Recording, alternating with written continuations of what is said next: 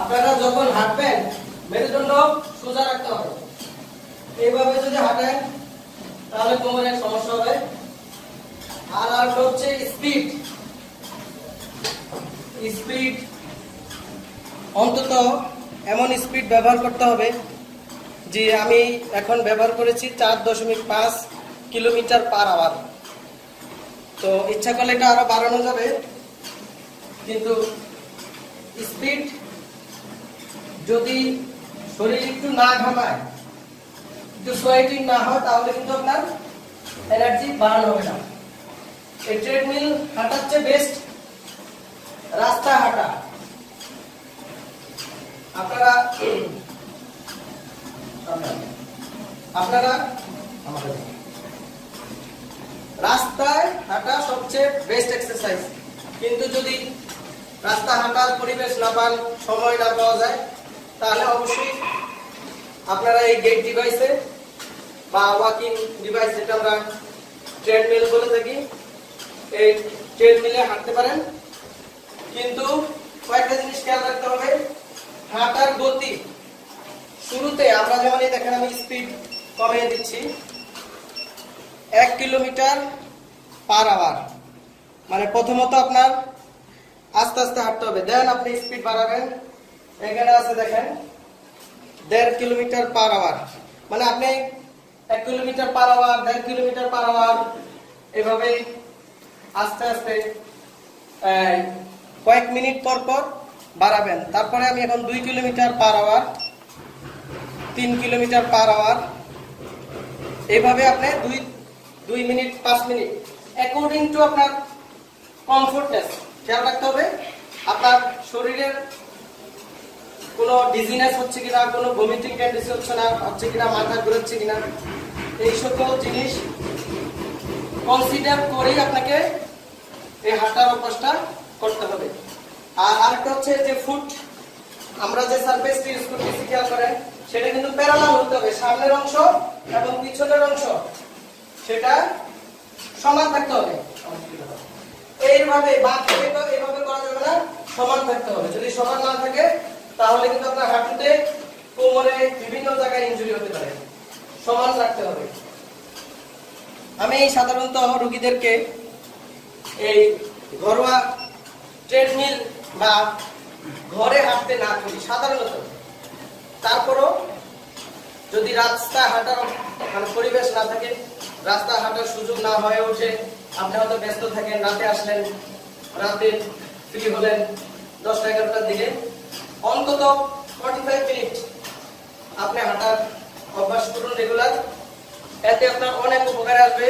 হাঁটু ব্যথা কোমর ব্যথা ঘাট এই জাতীয় সমস্যা থেকে উপকার আসবে আপনার হার্টের।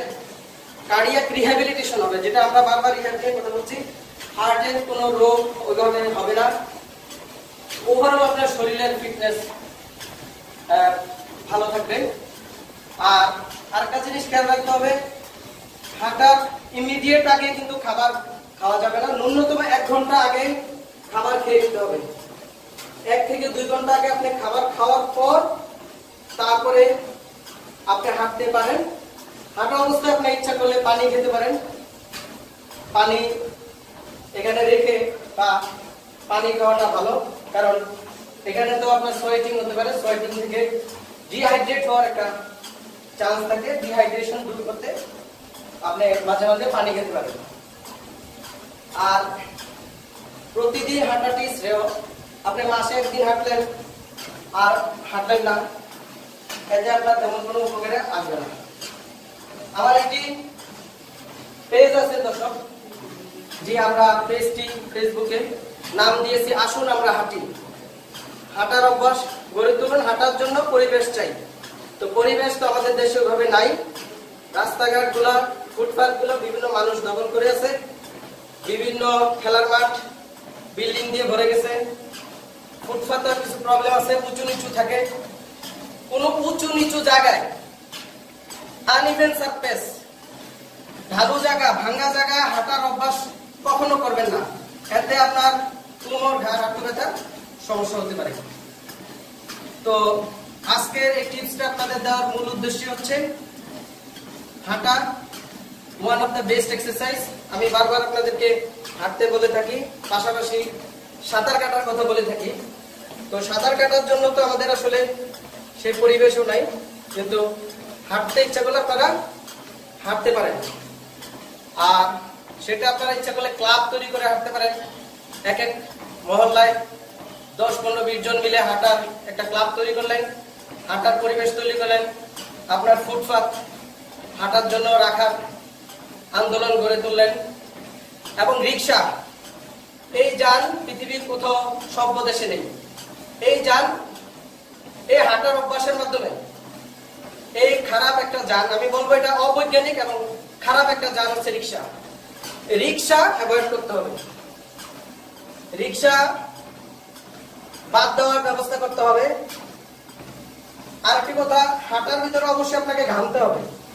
যে হাঁটলে আপনি ঘামলেন না সে হাঁটা আপনার কোনো উপকার হবে না। হাঁটা, হাঁটার মধ্যে ঘামতে হবে। আর যেটা বলছিলাম যে রিক্সার কথা। হ্যাঁ হয়তো কিছু শ্রেণির জন্য জীবিকা, রিক্সা আসে। ওই শ্রেণির জীবিকা, তারা কিন্তু এটা ফিক্স জীবিকা না। তাদের আরও বহু কাজ আছে। বহু জীবিকা অর্জন করার জন্য রিক্সা চালাতে হবে এমন কোনো কাজ নেই। রিক্সার চেয়ে ভালো জীবিকা অর্জন করার বহু পথ আছে। রিক্সা ঢাকা শহর থেকে টোটালি উৎখাত করতে হবে। আপনি রিক্সার কারণে সবচেয়ে বেশি কোমর ব্যথা রোগী হয়, সবচেয়ে বেশি পিঠ ব্যথা, ঘাড় ব্যথা রোগী হয়।